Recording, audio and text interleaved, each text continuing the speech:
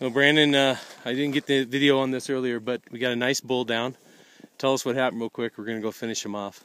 Uh, Adam was over trying to scare the other bunch of caribou, and then he saw this huge one. He's trying to signal us, and I thought he was saying his uh, four wheeler broke down, but instead it was a big bull. Um, I saw it and shot it once, then missed the second shot, and then put him down the last shot. All right, let's go finish him off. I don't want him to suffer anymore. I want you to walk. Uh, we're going to walk together. Come on over on this side here.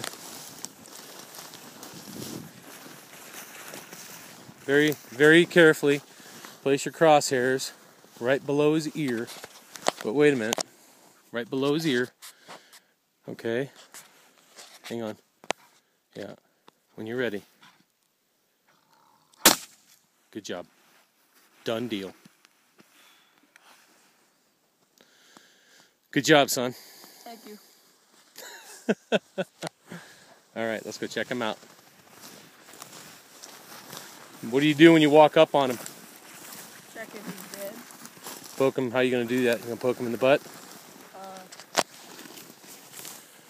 Poke him in the butt. Yeah, he's still kicking there a little bit, so give him a little poke. Okay. His nerves are still racking. See how his ears are starting to drop? Once his ears drop. Right now it's just his nerves kicking. He had a lot of uh, a lot of adrenaline in him. So he stopped breathing. He's a nice caribou. Real nice caribou for Nelchina.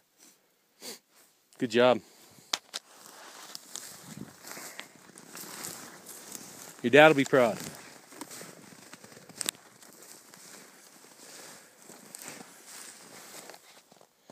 Adam, what do you think? First caribou hunt. You, want- you want my honest opinion? I feel, I feel really bad for the animal. I really, I really do. I really feel bad. That's why it's hard for me to go hunting. Yeah, I know. The cycle of life is part of it, and uh, it is hard to see it. But, you know, God put them on this face of this earth to take care of us as humans, to feed us. And uh, it's nice to be in the situation where you have one and not need it rather than need it and not have it. He's a nice caribou. Sometimes the dying part's not the easiest. But he's dead now.